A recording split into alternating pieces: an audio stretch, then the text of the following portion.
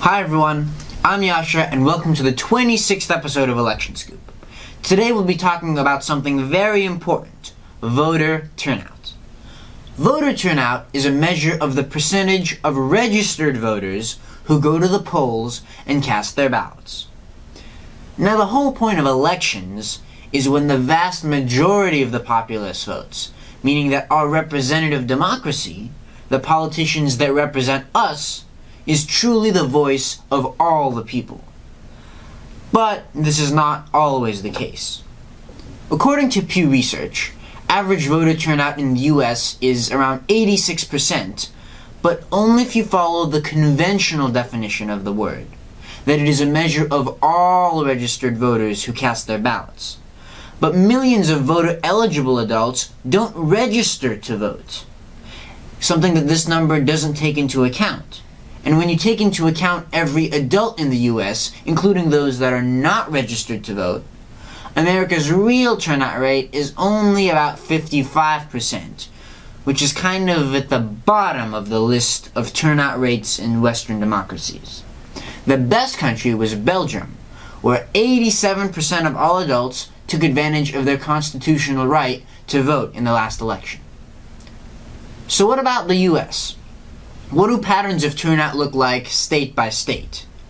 Well, the states with the lowest voter turnout, where turnout was at or under 50%, were Hawaii, California, Arizona, Utah, West Virginia, and Texas.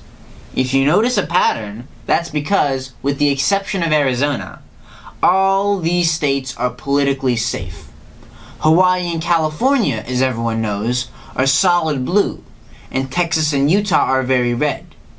Now, let's look at the states where voter turnout is highest, say above 65%. These states are New Hampshire, Maine, Wisconsin, Minnesota, Iowa, and Colorado. Now these are all, to an extent, swing states.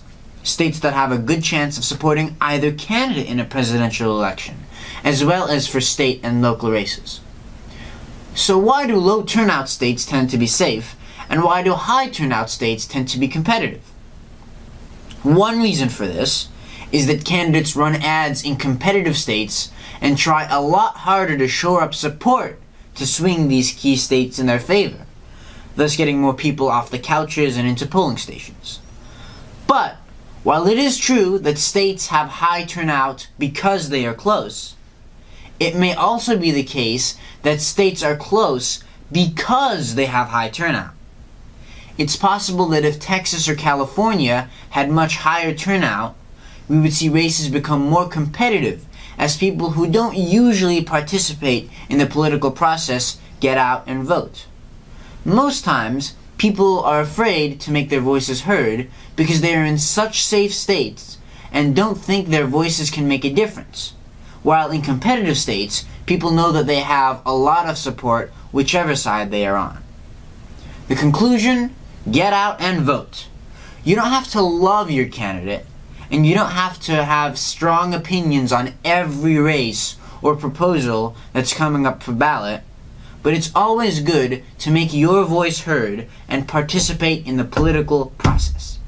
So thanks for watching, and remember, don't forget to vote.